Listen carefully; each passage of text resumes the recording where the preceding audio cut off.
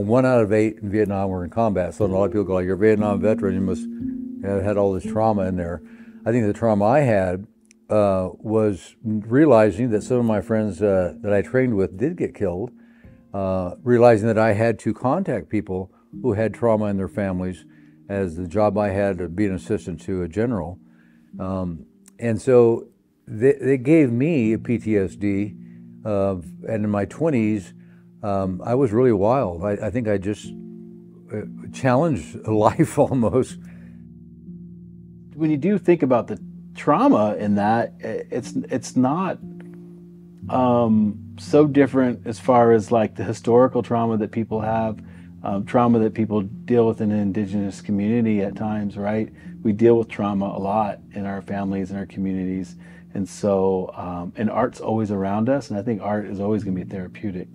And so, whether you dealt with a lot of trauma or very little trauma, I think still the creative process of making um, and and suspending your mind and imagination and creating something new is just helpful for your spirit and your soul, and it's a and it's a great way to uh, communicate as well, right? So you that's just helpful. It's just a helpful way to kind of process things. I've been deployed twice. Got hit by an IED both times. I got um TBI, PTSD one morning I woke up randomly with this overwhelming urge and need to paint. And it turned out it was pretty cool. And I was relatively decent at it, but the important thing about it was that I, I was, when I paint or I create anything, I go through every emotion just naturally. I, I start out optimistic and hopeful, but then I'll get angry, um, sometimes even rageful or sad and frustrated. But I'll never stop even though I want to destroy it at one point, I don't stop until I can look at it and feel a sense of peace. If I can look at it, regardless of whether I like it or not, is irre- is irrelevant. But if I look at it and I could feel a sense of calm and, and peace, then that's when it's done. On the first day of the workshop, we took the class through the museum it was important uh, to take them through. First of all, it's good to just get them familiar with you know new techniques, colors, textures, and um, there's a real continuity that they find through it through it all. You know, like they've seen their own people doing this work, and that work comes from an important place. Today, they're still like in the communities, veterans are the leaders. You know, I was kind of nervous at first, um, struggling with PTSD. I kind of like hate crowds and I don't like going places. Um, as far as getting the, the V gouges into these little tiny spaces, and it had to really be steady with your your hands and your fingers. Um, but this one has a lot more concentration. You have to think about, is this gonna fit, or how can I do this to make everything fit? You know, it's kind of it's challenging, but it's it's fun. I think I thought it was fun. I got here, and it was like a total different feel than what I had expected it to be. Like everybody's laid back, everybody's chill, and everybody's just kind of they're interested in you. The hardest part of this workshop was trying to figure out what you're gonna draw and what you're gonna make, for me at least. And I couldn't figure out what I wanted to do. Um, but I went and reverted back to doing uh, Parfleche designs. It turned out to be a butterfly. If it's going to be printed black and white, the negative spaces will be white. And so it'll resemble a white butterfly, which has a lot of uh, special meaning to my wife and I. So the piece I'm making is um, a, one, a photograph that I've taken. I took out at uh, Bosque del Apache in New Mexico of some early morning. The birds are sitting out on some of the uh, sticks in the water, and um, so tried to create a sense of water and the birds just kind of out there um, all alone because that's they were. They were just kind of sitting on these little tiny branches and it was just amazing to me to see these little birds hanging on this little tiny branch. And it's nice to sit with people who understand your stories right? Or who have lived a, a, or had a shared experience of being in the military and, and understanding, you know, just kind of the camaraderie that happened there because you don't necessarily feel that with a lot of people. There's there's a it's a different culture. Um, and just to be with people that I've never met before who all have some shared experience. It's kind of nice to just sit and talk and joke and, you know, just kind of banter back and forth. It, it, it was, it's like coming, you know, to a, you know, a, a family event that you hadn't seen family in a really long time and just sitting down and talking and just, yeah. There is this hesitation to come into a, a, unknown place. Maybe from my military time, there's kind of this, I, I want to hold back and kind of watch and observe things, see how things are before I, I like to test, you know, test the waters a little bit. Um, but being in this class with this group, I, I feel like I'm among my fellow peers, um, you know, not just because we're Native American, but also because of our backgrounds, you know, and I feel comfortable. And so because of that, I feel looser. Um, and I think that definitely helped to open, you know, the very first day. I mean, it's a short time that we're here together, but right away already there's this connection.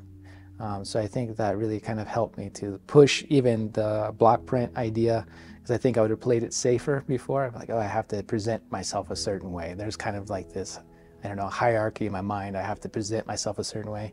But then when I'm with, you know, other fellow uh, service members and then other natives, I feel like oh, it's family, it's easier. Um, so I let go a lot of those guards. Um, so yeah, it's it's a excellent opportunity. Yeah, it was during the, the 70s. Um, it was 72 to, oh no, 75 to 79. And of course, the Vietnam War was just over around about that time. So this was when the Cold War was going on. I was kind of brought up here and there. I, was, I didn't really, you can't say I really had a home, but parents there for me, like, you know, I was just kind of, I, I, can't find a word for it, but uh, um, basically homeless. I just went from family to family, mostly relatives, you know my grandma, my aunt, my sister, you know, that kind of thing. And then, like I say, I was just kind of wandering aimlessly since I didn't have parents to really guide me. So I was just kind of like doing my own thing. So I decided just to sign up. You know, it, back then it was, I think it was voluntary. So I said, well, heck, I'm, I want to travel, so. plus the, the education i was that's what i really was kind of after the education you know the funding. And that's the reason i joined and i did my time and my service and i yeah i kind of wanted to stay in but i wanted to get out of combat arms and go into something a little safer. And i wanted to get into map making you know topography. They said probably you probably won't get in there until like three, four years. So I said, okay, I don't, I don't want to wait around for that. So I'm gone. So that's what happened.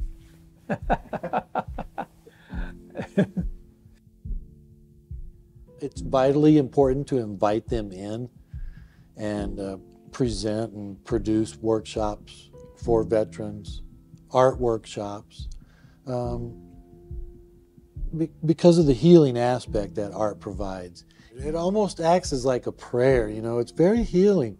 It's very cathartic. People can just like get into the moment, they call it, like a flow, where time stands still and you just lose yourself. You come out on the other side, it's been four hours and you have a beautiful drawing and you know, and so it's getting people centered and focused.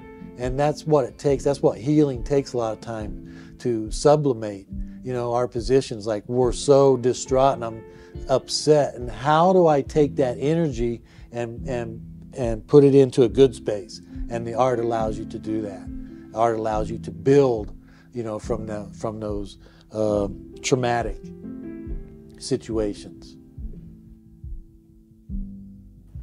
To me, I think art saved my ass in a way, and I'm still not totally tame, but I think that it really allowed me to give myself that self love and self respect and really kind of uh, build on the things that are good. And so there's no easy answers in, in life, I, I realize, but there certainly can be joy. I really believe that art does two things. One, it allows you, if you're just a viewer, to accept the spirituality of something somehow we respond to it if you allow yourself. The other thing that it does, if you're making art, it allows you to express yourself in a way that no, nothing else can.